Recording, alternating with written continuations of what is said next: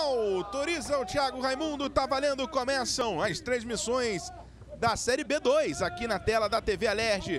Seja muito bem-vindo, muito bem-vindo. Você no YouTube já pode mandar sua mensagem. Você no canal 12 da NET, no 10.2 HF. É a volta das transmissões do futebol aqui na tela da TV Alerj. E já vem pra cima a equipe do Paduano. Esse daí é o Vitinho. Tenta levar ao fundo, tem cruzamento, a bola não saiu. Fica ainda com o trovão azul. Leandro Carvalho. Recomeçando com Ian Burim. Anderson Domingues. Tenta o passe, consegue a interceptação o time do Tigres, não consegue ficar com a bola o Vinícius Clerier, só que o chute é cumprido, fica tranquila na mão, nas mãos de Caio Borges. São os primeiros movimentos direto do estádio de Moça Bonita. Você ligado com a gente aqui na TV Alerge. Tentativa de uma casquinha de cabeça, ela vai ficando tranquila com o Lucão, goleiro da equipe do Paduano. São duas equipes que ainda não perderam na competição, duas equipes invictas. Como disse o Daniel no nosso pré-jogo, se o Tigres vencer, passa o Paduano. Vai fazer matemática, né, para ver se consegue assumir a liderança da competição, mas fica definitivamente ali no bolo. É um campeonato mais curto do que o da Série C. Tem menos times, é turno único, são 11 rodadas. Troca passes a equipe do Paduano. Tentativa do lançamento cumprido, ficou forte demais. A bola vai ser encostada aqui pelo Tássio para o goleirão Caio Borges. Esse daí é Walter. Você já ouviu ali, aquele grito de ladrão, né? O Luan dá um chutão para frente. Ela vai sobrando com o Matheus. Um desses jogadores que o Carlos Alberto Dias trouxe lá de Sergipe, né? Do Atlético Gloriense. Deixa de lado, trabalha a bola, tenta a pressão por ali o Jobinho. Recomeça, não houve domínio, ela vai ficando tranquila com o Walter. Luan. Deixa por dentro de novo com o Walter. Acompanha ali o Santos. Tenta fazer uma pressão, tem bola esticada. Fica com ela ali o Ian Burim. Muitos desses jogadores também jogam na seleção militar brasileira. Jogadores do Paduano, né? Parceria, jogaram nos Jogos Mundiais Militares de Wuhan em 2019. E aqui vem chegando a equipe do Tigres do Brasil com perigo. Tem bola, a posição é de impedimento. Tem ali o chute do Ivan. A bola acaba saindo pela linha de fundo, mas já havia sido marcado o impedimento no lance. O Ivan, que é o jogador mais experiente, pode falar. Por incrível que pareça, né, Caio? Na divisão, mesmo sendo uma B2, os dois times têm uma ótima estrutura, né? O Paduano ele treina lá na Urca, no Exército. Já tive o prazer de conhecer as duas estruturas e o Tigres tem um, também lá um complexo maravilhoso com vários campos, né? Exatamente, né? Localizado lá dentro do complexo. O estádio do Tigres, o de Los Lários, é localizado dentro desse complexo que envolve centro de treinamento, uma área de 240 mil metros quadrados tem sete campos de treinamento, piscina, academia, alojamento, departamento médico, clínica de fisioterapia. É realmente uma estrutura muito boa. E a ideia do Tigres na fundação era essa, né? Mostrar que com uma estrutura organizada, um time pode alcançar grandes coisas. E rapidamente o Tigres foi subindo, né? Chegou a disputar, como a gente disse, a primeira divisão em 2009, em 2010, também em 2000 2015, 2016 e 2017 disputou a seletiva, que também é a primeira divisão, mas acabou caindo.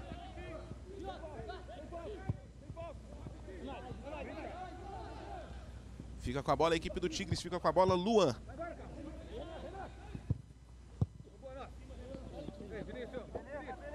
O Tigres também que conquistou a Copa Rio um ano após a sua fundação. Foi fundado em 2004 e 2005 conquistou a Copa Rio pela primeira vez, depois voltou a, disputar, a conquistar o título em 2009.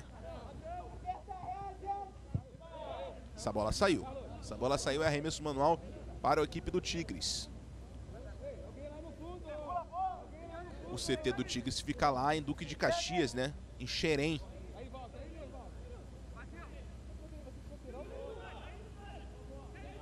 Tenta chegar o Tigres.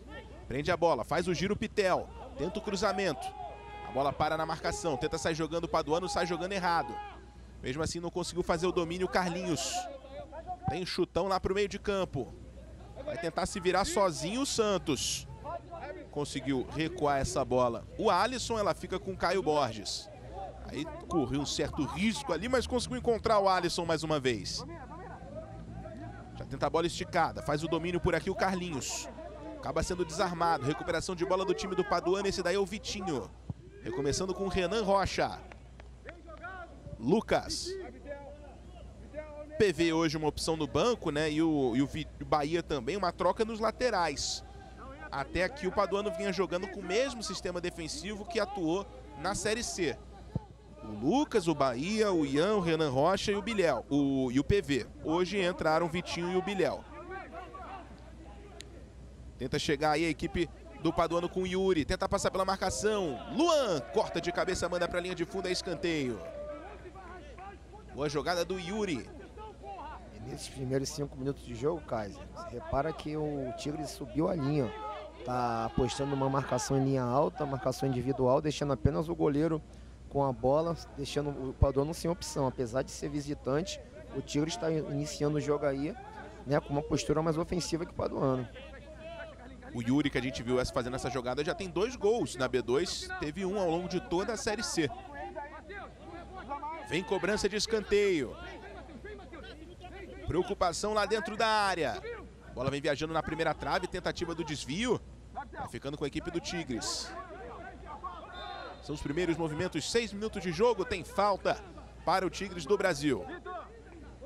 Oi, Guilherme, qual a sua primeira impressão nesses seis minutos de jogo em Moça Bonita? A mesma do Daniel. O, o Paduano não está indo tão bem ao ataque. O Tigre está começando na pressão, né, em cima da equipe do Paduano. Ainda temos o quê? Cinco minutos, né? Cinco para seis, sete minutos de jogo, né? E vamos ver como é que vai ficar essa partida. Mas o Tigres é quem tem se saído mais, assim, ele tem ido mais ao ataque. A bola tá lá com o goleirão da equipe do Paduano. Lucas manda na frente, tenta fazer o giro Santos, marcado pelo Luan. Daqui a pouquinho vou ler os primeiros comentários aqui no nosso YouTube da TV Alerge. Pode mandar o link, avisa para todo mundo que o futebol voltou na tela da TV Alerge. Tentativa do toque de calcanhar, vem o cruzamento do Vitinho, a bola explode na marcação, sai linha de fundo, é escanteio.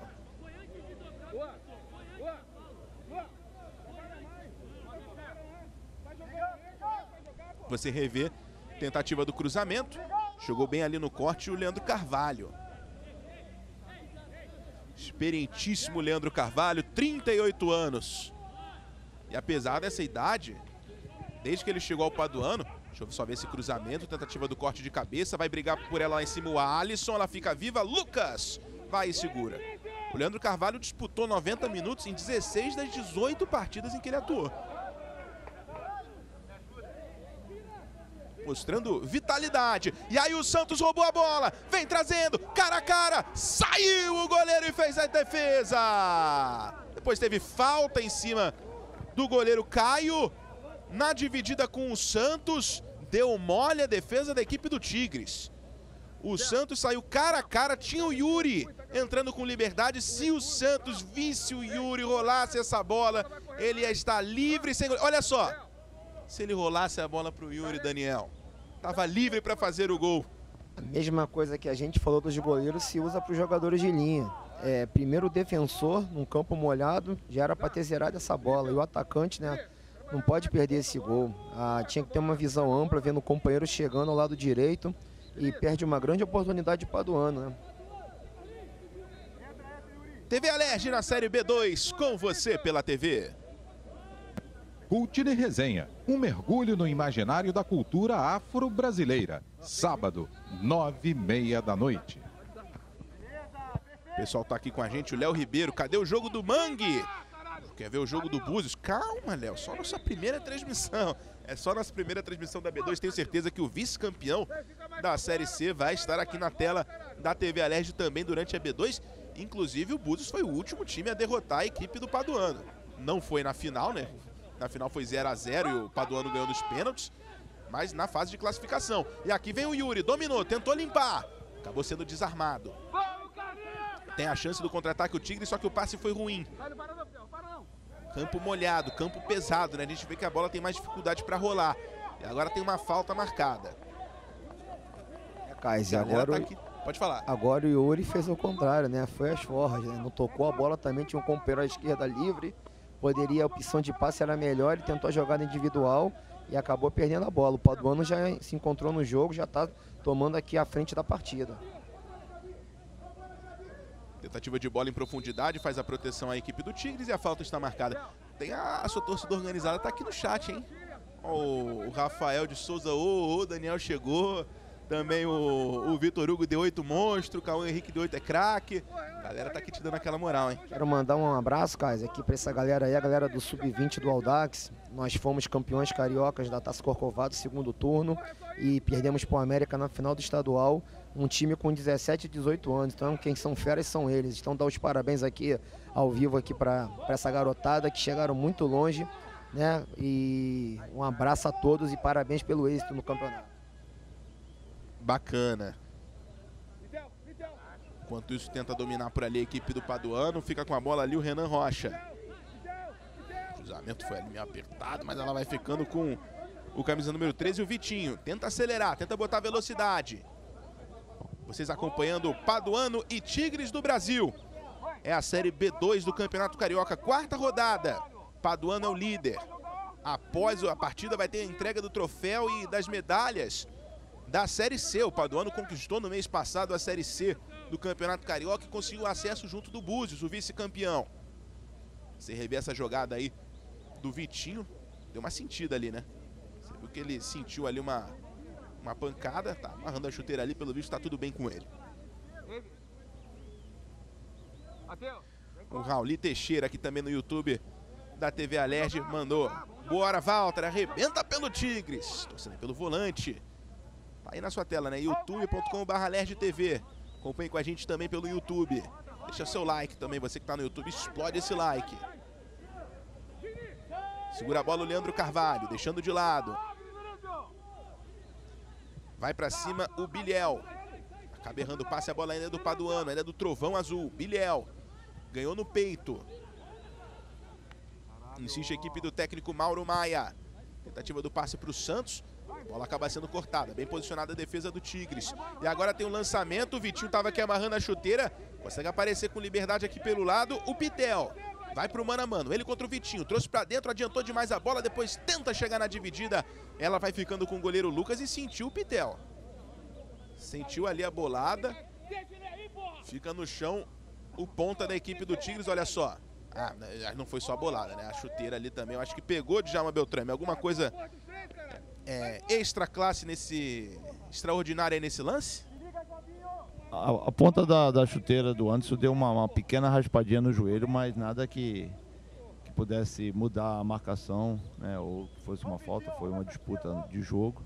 O que eu estou observando, Kaiser, é que é, como eu falei anteriormente, né? No pré-jogo, o, o, o, campo com dimensão maior está tendo pouco contato. Temos quatro faltas até agora, em 13 minutos a gente vê que a tendência é que a gente tenha um jogo tranquilo. Mas uh, eu sempre falo para os árbitros, quando a gente está com eles lá no, no, trabalho de técnico, que o árbitro precisa esperar o inesperado, porque tudo pode acontecer. Então ele tem que estar tá ligado naquilo que de repente pode acontecer.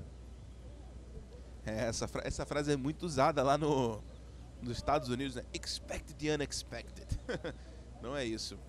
Num jogo de futebol a gente sabe, né? Às vezes o jogo se complica em, uma, em um estalar de dedos, né?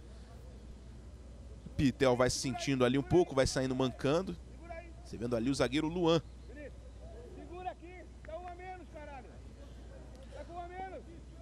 O Luan que... Oi, pode falar, Rui. Tô dizendo que parece o Valderrama, tem um jogador ali do Tigres. Só faltava ele ser louro. O Luan, né? É, exatamente. Ficasse com o cabelo louro, eu ia dizer que era o nosso Didi Valderrama. Enquanto isso tem aqui o passe. Tentativa do domínio do Vitinho. Não consegue passar o Yuri. Briga pela bola, ela acaba saindo e arremesso manual. Luan que disputou o campeonato sergipano pelo Dorense nessa temporada. Antes jogou também no Atlético Gloriense. Inclusive ele enfrentou esse ano o Atlético Gloriense onde o Alisson estava. Alisson que é o parceiro de zaga dele, né? Dois se enfrentaram no início do ano e agora jogam juntos. Tá aí o Luan, bota na frente. Esse daí é o Carlinhos. recebendo o Vinícius Clerier. Vinícius Clerier que hoje joga no Tigres, né? Começou a sua carreira pertinho ali, no CT Vale das Laranjeiras, o CT da base do Fluminense. Passou pela base do Fluminense, o Vinícius Clerier, jogador de 22 anos. Depois também já jogou por Resende, Serra Macaense, Macaé. Mas começou aí bem pertinho do, do CT do Tigres. A bola vai ficando com o Vinícius Clerier. Tentativa de passe mais à frente, consegue fazer o corte a equipe do Paduano. Vai insistir ainda o Tigres. Bola para o zagueiro Luan. Matou na coxa, botou no chão. Tenta a esticada de bola, recebendo o Pitel, já recuperado, vai para cima. Tenta passar pela marcação, já olha para a área, tenta encontrar alguém. Marcação dobrada complicou a vida dele. Tenta dar um jeito de passar. Tinha a opção do Carlinhos aqui pelo lado, Pitel preferiu tentar encarar os dois marcadores acabou perdendo a bola. E agora tem a chance do contra-ataque o Paduano. Vem carregando o Santos, trouxe para dentro. O Luan acompanhou. Vem chegando o Santos na jogada individual, vem por baixo o Luan e é pênalti. Pênalti marcado pelo Thiago Raimundo. É pênalti para o Paduano.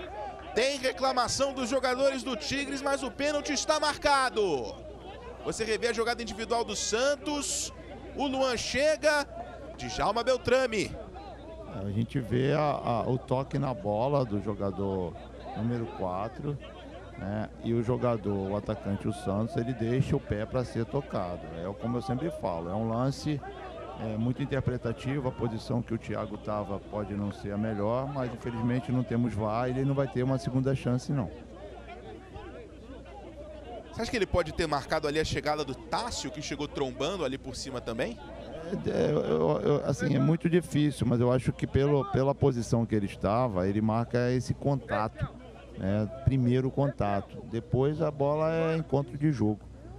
É, eu não, não, tenho assim essa convicção. Eu, olhando aqui pela imagem, eu não marcaria. Kaiser. E era uma jogada, Rui, onde o Luan vinha se recuperando, né? Ele perdeu na corrida num primeiro momento, depois ele se recupera, toca na bola, mas o árbitro marca o pênalti. Sim, exatamente. Agora há que se destacar o camisa 11, Santos do Paduano, né, que foi comendo de um lado, comendo de outro, até chegar dentro da área e sofreu o pênalti, né? Quando ele foi quase é, sanduichado, né, por dois jogadores da equipe do Tigres, né? E até sofreu o pênalti ali dentro da área. O segundo jogador quando ele toca, o Santos já está na, na, na, queda. Já está é, caindo. Ele está né? na queda. E o Santos é esse jogador, a gente lembra bem do, do, dos outros jogos, né, da Série C. Ele é um jogador que ele procura o contato, ele deixa o, o, o pé, deixa a perna, deixa o corpo para ser tocado. É experiente e usou essa experiência agora e dentro da ótica do Thiago foi pênalti. Bom, o artilheiro da equipe do Paduano na Série C, o Anderson Domingues, está na bola. Foram nove gols em 11 jogos, ele já tem dois na Série B2. Pode chegar no terceiro gol em três jogos, o Anderson Domingues. Artilheiro, sabe como fazer. Tá já posicionado para cobrança. Pode fazer mais um gol, Anderson Domingues. No gol, Caio Borges. Pode abrir o placar o Paduano com 18 minutos do primeiro tempo. Lá vem o Anderson Domingues, autorizado, foi pra bola. Perna direita, com direita paradinha, Anderson Domingues bateu. Gol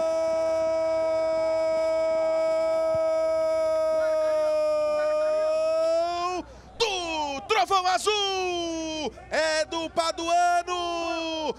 Anderson Domingues, a frieza de quem sabe, de quem é artilheiro, de quem fez o seu terceiro gol em três jogos. Goleiro de um lado, bola para o outro, com calma, tranquilidade, olha só, com a paradinha. Foi, não foi, perna direita na bola, ele sabe fazer gol, bota o Paduano na frente, sai na frente o Trovão Azul, por outro ângulo, na câmera, no micro, na microcâmera, e o goleiro também se adiantou um monte, hein, se defendesse ia voltar, mas a bola foi no fundo do gol, um para o Paduano, zero para o Tigres, Daniel Guimarães. A postura do Paduano, desde o início do jogo, uma postura reativa, apostando ali na velocidade do Santos, que já, como o mestre Beltrame aqui falou, independente de ser pênalti ou não, já é a segunda vez que o Santos chega em condições de fazer o gol. E o jogador também, apesar de ter encostado na bola, ele foi imprudente. A zaga do Tigres, com um campo desse estado, tá pe pecando muito nessa bola ali. E o Santos, com a velocidade e a força que ele tem, se aproveitou, pênalti pro Paduano e Vitória saiu, saiu no placar mesmo, não jogando bem. Lá atrás, reativo, apostando apenas na jogada com o Santos. Mas o que vale são os três pontos, é isso que o Paduano está conseguindo. E o Anderson se iguala na artilharia da Série B2 com o Orelha do Magiense e o Pagodinho do Séries. Os dois têm três gols marcados. Enquanto isso, quer mais o Paduano. Chegou o Luan para fazer o corte. E a gente estava falando mais cedo antes do jogo aqui em off, né? Que hoje a gente vê poucos apelidos aí, ó. Tem o Orelha e tem o Pagodinho na Série B2. Vem a equipe. Já dá um grupo de pagode, né, Caio? Opa! Que beleza, hein? Aí o Pitel. Tenta encarar a marcação. A marcação dobra. Conseguiu mandar essa bola para dentro da área, mas acabou errando o passe. Tem reclamação ali, tem grito, né? Reclamação de falta e agora o Thiago marca. TV Alerj na Série B2 com você pela TV. Educação. Se não se envolver, não cola. Segunda, nove da noite. Paduano que trouxe dois reforços, né, em relação ao time que jogou a Série C. Um deles, o Marcos Felipe, jogava no Belfor Roxo, o time que terminou em primeiro na fase de classificação, acabou sendo eliminado pelo Búzios na semifinal. Não está no jogo de hoje, acabou sentindo uma lesão. O Kevin está em campo, tá ali com a 23, ó, lado direito ali da sua imagem. Ele que veio do Império Serrano, a equipe que foi eliminada pelo Paduano na, na semifinal. Kaiser, é, um, você foi muito feliz quando você mostrou e, e a, a, imagem mostrou e você comentou o adiantamento do goleiro. Ele adiantou muito. Se ele pega essa bola, com certeza o assistente iria solicitar ao árbitro que fosse é, repetida a cobrança, porque ele adiantou muito. Na, na segunda parada do Anderson, ele já estava lá na frente. E o pior é que ele não teve nem depois a, a, vontade de voltar, né? Olha, a gente vem chegando o Yuri, bateu, defesaça, voltou, Santos dominou, bateu pro gol, tem desvio e ela vai pra fora. Que chutaço do Yuri, defesaça do Caio Borges. No rebote ela desviou, foi pra fora, é escanteio pro Paduano, olha só. Ele ganha da marcação, bate. Por esse ângulo a gente tem até a sensação de que a bola não ia na direção do gol, né? Mas é melhor prevenir do que qualquer coisa. Escanteio vai lá pra cobrança o Kevin. Cobrou curtinho, vem o Paduano. Bola no Kevin, já olha pra área. Ele manda direto pro gol e ela passa, vai embora. Tiro de meta.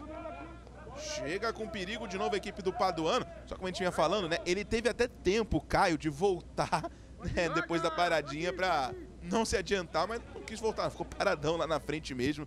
A, a cobrança certamente iria voltar se ele defendesse. Agora, Daniel, a gente viu o, o Paduano abrindo o placar continua indo para cima. Mas aproveitar aqui, eu, mandar um beijo para minha filha Daniela, que Opa. tá cobrando aqui, filhona. Beijo, Daniela, papai te ama. Olha como é que o psicológico no futebol ele é muito importante. O Tigres, numa marcação de linha alta, é, o Paduano faz um gol num pênalti que não houve e o Paduano já tomou as ações do jogo e o técnico Carlos Alberto Dias, você repara que ele já desceu a linha, ó. Ele já desceu a linha, o Tigre já está marcando agora ali na intermediária e o Paduano agora tomando as ações do jogo. O Tigre estava até bem no jogo, não tinha por que mudar a estratégia, apesar de ter acontecido um pênalti. O gol foi um pênalti, era só ir lá e correr atrás que empataria. Mas olha como é que um gol já muda o estado psicológico de um time. Lembrando que esse foi o primeiro gol sofrido pelo Tigres na B2. Foi o primeiro gol sofrido pelo Tigres na competição. A defesa ainda não havia sido vazada. E o Paduano consegue abrir o placar, chega a 10 gols, é o melhor ataque da Série B2. O Paduano que já sofreu dois gols, né, os dois contra o Magiense. Na Série C, Paduano ficou conhecido pela sua defesa muito forte. Jogando como mandante, sofreu apenas um gol. Gol na semifinal contra o Império Serrano. Esse daí é o Pitel, vai pra cima, conseguiu limpar. Perna direita na bola, agarra o goleiro. Segura o Lucas, firme, a bola foi bem onde ele estava. Conseguiu segurar sem dar rebote. Foram cinco gols sofridos pelo Paduano no total ao longo da Série C.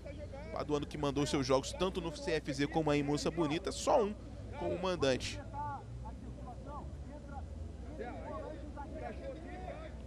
E agora fica caído aí o jogador do Paduano.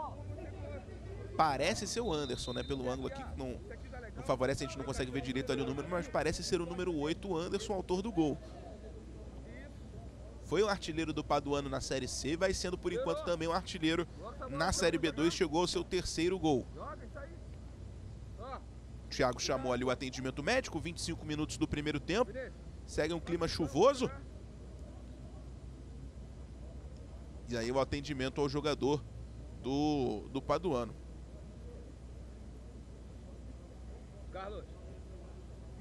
Como é que ficou o clima aí em Moça Bonita, Rafael Dias? Depois do gol, muita reclamação pelo pênalti. Como é que os treinadores reagiram ao primeiro gol do jogo, o primeiro gol do Paduano? Olha, Kleiser, é, reclamação nem tanto. Os dois times, até pela dificuldade da gente de ver o lance assim, né, com, com mais detalhes, como a imagem nos pode mostrar para os nossos telespectadores, os técnicos aceitaram. Uma grande reclamação feita por, pelo técnico Mauro Maia, questionou o fato do Luan não ter recebido o cartão amarelo.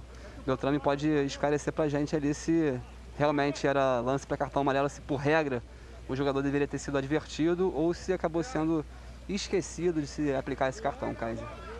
Se o árbitro considera que não há uma oportunidade clara e manifesta de gol, o cartão que seria amarelo deixa de existir. Se ele considerar que era uma oportunidade clara e manifesta de gol, aí ele teria que dar o cartão amarelo. Mas ele, pelo que eu vejo, ele marcou independente da questão tática. Existe algum tempo já aquela regra de que em lance de pênalti, né, você não aplica dupla punição, né? Então você não expulsa o jogador, a não ser que seja uma questão de antijogo, enfim, é, que não um mire a bola. Se for questão tática, há um bônus. Não quer dizer que você vai fazer uma ação é, forte no jogador, né, um, usando de força excessiva num pênalti, vai ser cartão vermelho. Se você fizer uma ação temerária, uma ação é, de intensidade média, né, vai ser cartão amarelo, independente se tiver oportunidade clara e manifesta de gol ou se for algo é, é, dessa natureza. Pode ser um ataque promissor. Então tudo isso de... tem que ter o cuidado de analisar. É, mas isso é somente na questão tática. Nas questões de natureza, segue como sempre foi. Vem de novo a equipe do Paduano, vem de novo o Santos, conseguiu ganhar, já olha para a área, tem o Kevin, tem o Yuri, bola para o Yuri, de cabeça para o Kevin, dominou, gol aberto, bateu! Gol!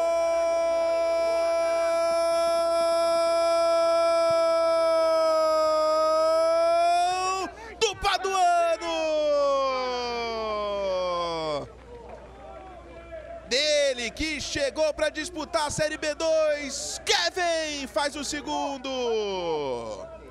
Na boa jogada, o Santos recebeu com liberdade. Que visão de jogo do Yuri. Ajeitou para o Kevin. Teve a frieza para tirar do goleiro, ficar com o gol aberto. Olha lá, o Santos ganha do Luan. O cruzamento, ajeitada de cabeça do Yuri. O Kevin com gol aberto. Entrosado, ensaiado, o Paduano faz o segundo. Vazou e vazou daquele jeito a defesa do Tigres. O Paduano vai se mantendo líder. Dois para o Paduano, zero para o Tigres do Brasil. Rui Guilherme. Uma jogada bonita, bem trabalhada pelo setor esquerdo de ataque do Paduano. A bola lançada para a área, na, de cabeça. Aí a bola sobrou para o Kevin, né? Que não teve nenhum trabalho para colocar a bola no fundo das redes da equipe do Tigres. Melhor em campo, cresceu o Paduano, como já era de se esperar, né, Kaiser? Os primeiros cinco minutos, um está conhecendo o outro, tal. O Tigres tentou dar aquela mordida, depois foi só aquilo. E aí, a partir daquele minuto, sexto, sétimo, oitavo minuto, aí só deu o Paduano, por isso o placar de 2 a 0. O Kevin, que tinha. que marcou cinco gols com o Império Serrano na Série C, no seu quarto jogo com o Paduano, balança a rede pela primeira vez, Daniel Guimarães. Repare como mais uma vez ó, o Santos participou da jogada. É, mais uma vez ele ganhou na força física, ganhou do zagueiro número 4 do Tigres, o Luan. Foi no fundo, fez o cruzamento. E aí o jogador foi muito inteligente a antecipar o goleiro, a fazer a leitura de jogo e ampliar o, pla o placar para o Paduano. Mas repare que o Paduano continua apostando muito na força física e velocidade do Santos. Perigoso. Muito bem, a rede está balançando pelos outros jogos também da Série B1. Barra Mansa abriu o placar contra o Búzios. 1 a 0 para o Barra Mansa.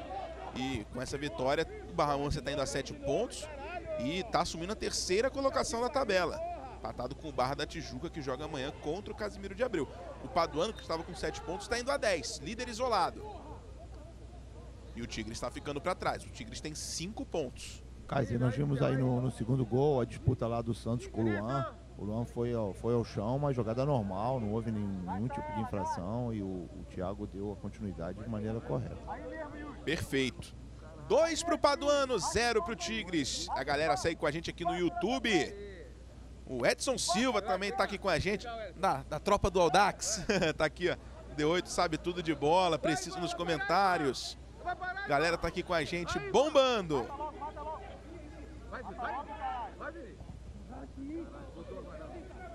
Vem jogando a equipe do Tigres, tentando a reação. Dois para o Paduano, zero para o Tigres. Paduano que vai receber hoje a sua taça da Série C do Campeonato Carioca. Vai ter celebração após o jogo. Claro que o pessoal quer celebrar com vitória. Né? Imagina só perde. Aí já jogaria água no chope na celebração do título da Série C.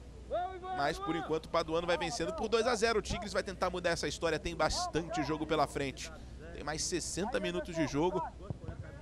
Só que aí também, né, tem que acertar essa bola aí. A sorte que ela vai sair pela linha de fundo em tiro de meta. Você ouve, né, o som do gramado. Futebol sem torcida, aos poucos a torcida vai voltando nas competições, né? Principalmente nas competições nacionais. Ela já está voltando, por enquanto ainda não na Série B2, então a gente ainda tem aí esse privilégio, digamos assim, de escutar o que falam os treinadores. Tiro de meta cobrado. Toca de cabeça o Anderson Domingues. Tenta fazer o giro, tenta ganhar a bola o Yuri. Conseguiu o passe, encontrou o Vitinho. Ele vem carregando, tem o Luan na marcação. O Vitinho acelera, tenta o cruzamento. Ela vai ficando tranquilamente com o Caio Borges. Ele já aponta lá pra frente, já vai tentar emendar o contra-ataque rapidamente. Tenta mandar a bola pro Pitel. O toque de cabeça foi pro lado errado. O Pitel vai chegar nela? Não, não vai não. Ela sai pela linha lateral, mesmo assim o lateral favorece a equipe do Tigres. Vai chegando ali pra cobrança o Carlinhos. Cobra o lateral rapidamente. Esse daí é o Vinícius Clerier. Tenta passar pela marcação. Chega por baixo ali. Com vontade o Yuri. É novo arremesso manual para o Tigres. Você vendo aí o Santos, né? Participação importantíssima nos dois gols. Não balançou a rede, mas foi ele quem sofreu o pênalti. Foi ele quem iniciou a jogada do segundo gol do Paduano. E agora tem falta de ataque. TV Alerj na Série B2 com você pela TV. Até machucar, Louvor Som, o lugar da música de adoração cristã. Sábado, nove da manhã. Quase 33 minutos do primeiro tempo, dois para o Paduano, zero para o Tigres. É a Série B2 na tela da TV Alerj. Você com a gente no canal 12 da NET, no 10.2 UHF, no estado do Rio de Janeiro e também no YouTube, youtube.com.br TV. Eita! Muito amigo aí o Renan Rocha agora, hein, com, com o Lucas. Mesmo assim ele conseguiu chegar na bola. Tá aí, olha só, embaixo na sua tela as nossas redes sociais. Pelo YouTube, Facebook, Twitter, Instagram. Né? Siga a gente. Se tiver tudo em pé também, né? Porque essa semana aí, lá na segunda-feira, teve um caos na, nas redes sociais. Só o Twitter ficou de pé, o YouTube também, mas o, o Facebook, o Instagram e o, e o WhatsApp também acabaram atrapalhando a vida de todo mundo. Enquanto isso, a bola segue, a rede segue balançando na Série B2. O Magense está enfrentando Séries e está fazendo 1 a 0 Abriu o placar e o Séries acabou de desperdiçar um pênalti. Séries que foi o campeão da Série C em 2019. Momento que tem falta e vai pintar cartão amarelo. Tá aí o primeiro cartão amarelo do jogo pareceu o seu Yuri. Já já o Rafa confirma pra gente. Olha só, no chão. Parece que foi o Santos. Foi o Santos. A gente já, já dá uma confirmada. Só uma coisa, o Magiense com essa vitória também vai chegando a sete pontos. Né, a mesma pontuação que o Barra da Tijuca tem. O Barra da Tijuca que enfrenta o Casimiro de Abreu amanhã. E também o Barra Mansa, que está vencendo o Búzios também por 1 a 0 placar parcial. A gente viu o lance aqui muito rápido, me parece que esse cartão foi por reclamação. O Santos se envolveu lá numa disputa, foi ao chão e logo depois o, o Thiago apresentou o cartão a ele, me parece que foi por reclamação. É, é o Santos mesmo, né? O Yuri está aqui embaixo, olha só. Confirmação do cartão amarelo para o Santos. Primeiro cartão do jogo, né? Se não estou enganado. É verdade. menos nas minhas anotações o aqui, é jogo isso. tá, tá 2 a 0 e ele começa a subir um pouquinho a temperatura. Então é hora do árbitro entender que precisa dar uma, uma segurada e às vezes precisa acalmar os ânimos. Infelizmente, a solução às vezes é o cartão. O ideal é que fosse tudo bem tranquilo, mas a gente sabe que não funciona dessa maneira. Então tem que aplicar o cartão, abrir a caixa de ferramenta e tocar o jogo. Tentativa de domínio aí do Tigres. Juiz para e pega uma falta. O Tigres também trabalha muito bem a sua base, né? Inclusive já conquistou o Campeonato Carioca Sub-20 uma vez, lá em 2009. Conquistou tanto a Taça Guanabara como a Taça Rio e com isso foi o campeão geral do Campeonato Carioca Sub-20. Competição que normalmente fica, os títulos ficam concentrados entre os quatro grandes, né? Inclusive na, na semana passada o Fluminense foi o campeão da competição desse ano com a vitória em cima do Flamengo na final. Mas o Tigres tem esse título em 2009. São três títulos, né? Um na base e dois no profissional. Tanto a, o Campeonato Carioca Sub-20 em 2009, como os dois da Copa Rio no profissional em 2005 e também em 2009. É, Kaiser, e o pessoal do futebol também de Várzea tá acompanhando a gente aqui, ó. Opa! Edinho, presidente lá do Cobra Coral, mandou um alô, tá aqui parabenizando os comentários da arbitragem do Rui, sua narração. Alexandre Ávila também escritor, tá agora escrevendo um livro aqui, mandando um abraço, parabenizando toda a equipe pela transmissão. Bacana, e a galera ligada com a gente no youtube.com.br TV. Onde também a sua mensagem, seu comentário e, claro, deixa seu like. Esse daí é o Bilhel. Sai, sai, sai, vai saindo, porra. Ele começa tudo com o Ian Burim. Trabalha a bola o Ian. Sai daí, porra. Sai Sem pressa também o Paduano. Vai vencendo por 2 a 0. Vai se mantendo líder absoluto da Série B2. E vai também chegando. Pode amanhã ser alcançado de novo pelo time do. do- que está em segundo lugar, que é o Barra da Tijuca, né? Que vai enfrentar, como a gente já disse, o Casimiro de Abreu. Mas o, o time do Paduano, por enquanto, vai se tornando líder isolado. Vinícius. E vai chegando a 13 jogos de invencibilidade também. Uma marca muito expressiva. Consegue roubar a bola bem aí agora o Anderson. Já bota lá na frente, acaba errando o passe. Vai fazer pressão o Santos. Chega também o Kevin, autor do segundo gol. Consegue fazer o desarme, consegue recuperar a bola para o Paduano. Tenta acelerar, tenta botar velocidade o Renan Rocha. Prefere voltar com o Leandro Carvalho. Falei da questão do, da vitalidade né, do Leandro, jogando na maioria dos jogos de 90 minutos. Formado pela base do Botafogo, mas já jogou para um monte de times. Né? O Paduano é o 14 time dele depois do Botafogo. E passou por times grandes do futebol nacional, como Figueirense, Atlético Goianiense, Guarani, São Caetano, Mirassol. Também o Madureira aqui no Rio de Janeiro. São alguns dos times né, do Leandro Carvalho. Anderson Domingues.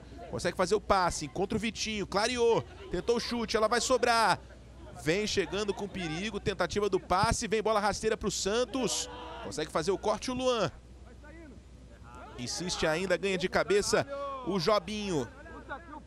Tabela com o Bilhel, Jobinho. Prefere recomeçar tudo com o Renan Rocha, que volta mais ainda. Mas o Iamburim agora sim, passando pelo Leandro Carvalho, chegando no Renan Rocha. Tenta a esticada para o Vitinho. Faz o corte por ali o Carlinhos. A bola fica ainda com a equipe do Paduano. Paduano dominando a posse de bola. O Tigres com muita dificuldade de chegar ao ataque, Daniel Guimarães.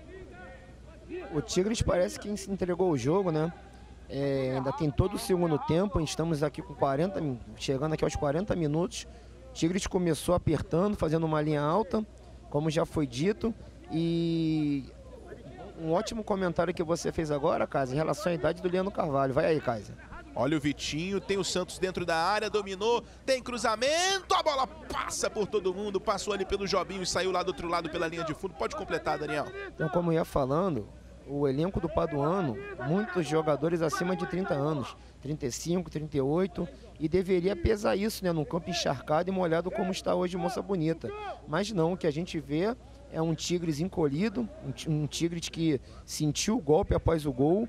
Como eu falei, acho que aquele pênalti psicológico do Tigres foi lá embaixo, perdeu a confiança de marcar lá em cima, e até agora o Paduano tomou conta do jogo e parece que o Tigres está sem força para reverter. Tigres que começou em- com dois empates por 0 a 0 na competição e venceu o Magiense na semana passada por 2 a 0. Como a gente vinha dizendo, ainda não havia sofrido gols. Um ataque que realmente tem tido dificuldades de produzir, mas era uma defesa que ninguém passa, né? É como diz até o hino do Palmeiras, né? uma defesa que ninguém tinha passado por enquanto. Paduano consegue fazer dois, chega a 11 gols na competição, o Trovão Azul é o melhor ataque. Luan faz o domínio, levanta a cabeça, bota na frente, esse daí é o Carlinhos. Tenta o passe pro Pitel. Tem dois ali em cima dele para tentar tomar a bola, ele acaba ganhando o arremesso manual. Aí no detalhe o Thiago Raimundo, árbitro do jogo. Carlinhos na cobrança do manual. Bota na frente, mais uma dividida, novo lateral para a equipe do Tigres. Thiago Petit, ou Pete, tá aqui com a gente no sul, torcendo pelo Tigres. Torcendo também pelo Rafinha. A galera pode mandando a sua mensagem aqui no chat youtube.com.br. Galera que tá acompanhando com a gente aqui no chat do YouTube. Tem escanteio Tigres. Vai ter bola levantada na área. Você vendo os homens altos, tanto do Paduano como do Tigres, já chegando por lá, né? Pra tentar a cabeçada. Aí o zagueiro Luan. Vem cobrança de escanteio. O Tigres tentando diminuir ainda nesse primeiro tempo, 41 minutos. Vem cobrança de escanteio baixa, tem jogador caindo dentro da área, o árbitro manda seguir. E agora vai ter contra-ataque. Um chute meio atrapalhado lá de trás, a bola chega mesmo assim no Yuri lá na frente. Consegue ganhar, rola por dentro, encontrando o Santos, pode bater de fora. Rolou pro Jobinho, invadiu a área, tenta passar pela marcação, perdeu o ângulo, deixou por dentro e o Santos perdeu. Na verdade, não foi o Santos quem finalizou, me pareceu o Yuri, mesmo assim o chute foi pela linha de fundo e ele ficou sentindo. Você revê a bela jogada, olha só. O Yuri é quem entra pedindo a bola com liberdade, cara a cara. E aí teve uma dividida por ali que a gente pode olhar com mais calma, olha só, boa jogada do Jobinho. Ele acaba errando a finalização e depois acaba tendo choque. Você revê pela microcâmera posicionada dentro do gol. Ele fura a bola, né? Fura a bola e acaba sendo atingido depois, mas a bola já tinha passado. Primeiro quero saber do Beltrame, alguma coisa nesse lance? Não, eles estão reclamando do lance lá na outra área, na cobrança do escanteio. Eu não, não tive oportunidade de ver o, o replay, a imagem estava um pouco distante. Eu, com certeza ocorreu uma busca por espaço lá e o jogador do Tigres foi ao chão.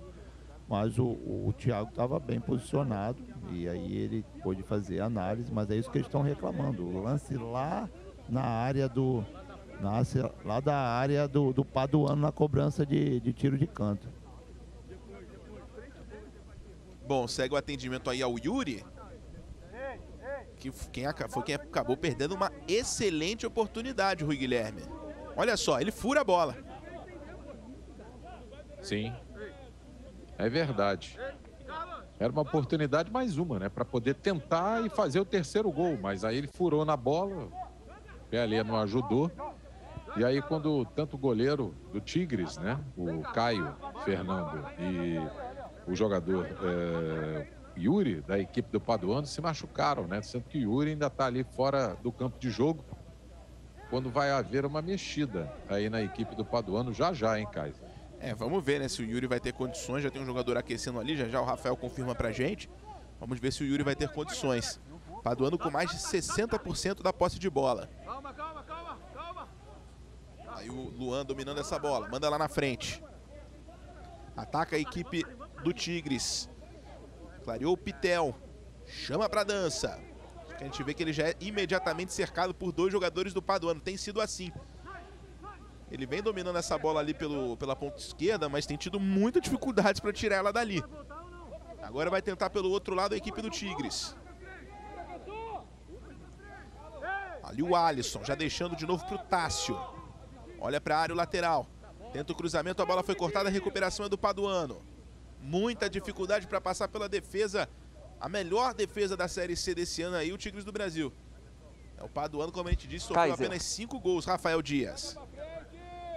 Yuri de volta ao campo quando sobe a placa aqui de mais dois minutos de acréscimo nesse primeiro tempo. Perfeito, então vamos até 47, o Yuri está de volta. Só que ficou com o uniforme todo sujo ali, né? Deixa eu ver que a, a chuva, né? Consegue chovendo lá em Moça Bonita. E o, aquela região ali do gramado, né, a área que agora é defendida pelo goleiro Caio Borges, tá um pouco né, com uma lama ali, enfim, não tá tão legal. E aí o, os jogadores que caem ali acabam ficando com o uniforme sujo. E ali o um impedimento marcado no ataque do Tigres. Tenta vir o Paduano, falta. Falta, falta dura. Teve um choque ali no ar, fica sentindo o jogador do Paduano. Vamos ver o que vai fazer o árbitro. Olha só. Era o Yuri, né? Que tinha acabado de receber atendimento médico, leva outra pancada. Na verdade, o Tigre subiu um pouco a, a, a marcação em relação à força que chega e está na hora realmente do Thiago dar uma olhada para essas entradas dos jogadores do Tigres aí, porque já não é a primeira nem a segunda que ele chega um pouco mais forte. Então precisa realmente ter um cuidado com isso aí, ele de maneira correta aplicou o cartão amarelo, mas me parece que é mais uma vez né? por reclamação. E isso ele, a parte disciplinar em relação à reclamação, ele não já mostrou que ele não aceita. Foi Os o dois Tássio. lados. Agora ele precisa tomar cuidado com as entradas, né? por enquanto está analisando, está avaliando, mas vai ter que saber o momento certo de coibir esse tipo de, de entrada mais forte. Cartão amarelo por reclamação para o Tássio. Você vê aí no detalhe. O, o Alisson, que foi quem cometeu a falta, inclusive ficou sentindo, mas realmente, né? O Tigres subiu um pouquinho o tom. E aí a confirmação na sua tela. Bom, cobrança de falta, tá na bola o Carlinhos, tá na. Aliás, perdão, tá na bola o Bilhel e tá na bola o Kevin. O Kevin costuma ser o homem da bola parada. Era assim no Império Serrano e por enquanto vem sendo assim no Paduano. Ele tem uma boa bola parada, inclusive fez gol de falta. Mas dessa vez deixou pro Bilhel com a perna canhota. Levantou na área, tem o toque de cabeça pra fora do gol! Pela linha de fundo, o Santos cabeceou. Ela acabou saindo, olha só. Vamos ver. A posição aparentemente era legal. E o Santos acaba errando a cabeçada, perde uma excelente chance na cobrança de falta do Bilhel. Cobrou bem o Bilhel, hein, Daniel? Ótima cobrança e você vê que aqui por fundamentos o Paduano não matou o jogo. Aquele lance do Yuri, um campo escorregadio, quicando, irregular, era para ele vir atacando a bola. E agora o Santos de Costa pôs o objetivo para cabecear a bola, né? Para cabecear com a nuca. Está de frente pro gol, ele testa 4 a 0 Paduano.